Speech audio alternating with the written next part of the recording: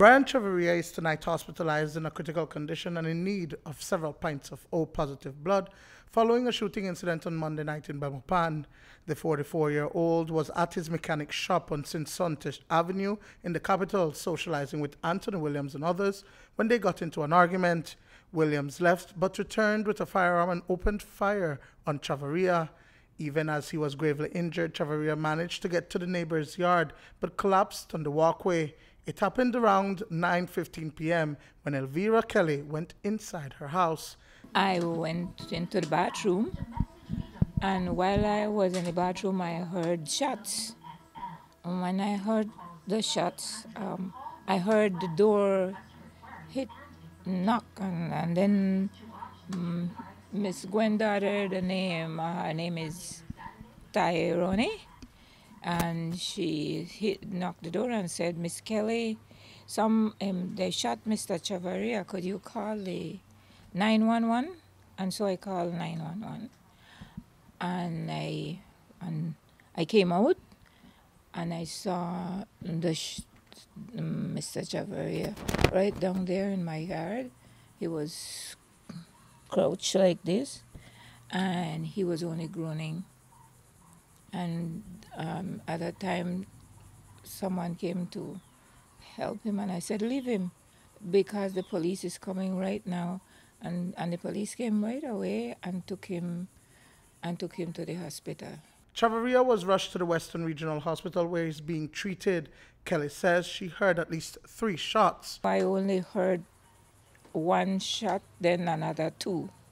Uh, that's three now, but was one then was pause, and then another three. No.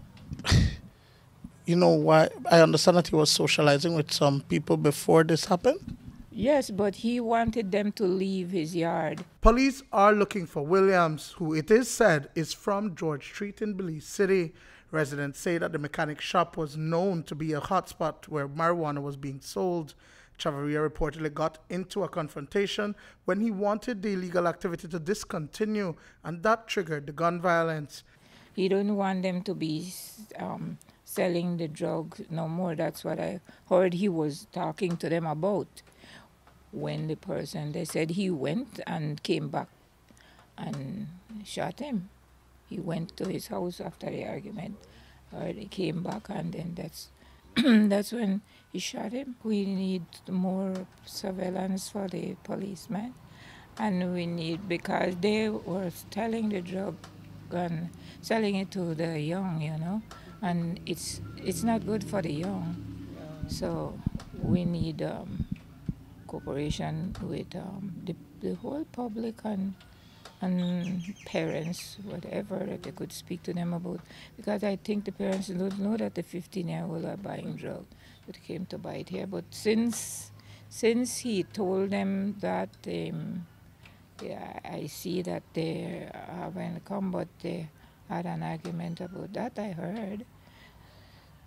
And this is this causes. Uh-huh. Elvira Kelly says that it is the first time violence like this has happened in her area. I um I don't feel because I was sitting down here, and I said maybe if they would have, uh, because they could have shot me because of looking and seeing, yeah. and to quiet me too, I could have gotten a shot, because I was sitting down right here, but I got up before and I went into the, the in my house.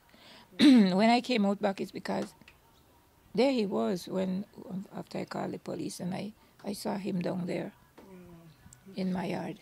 Duane Moody for News 5.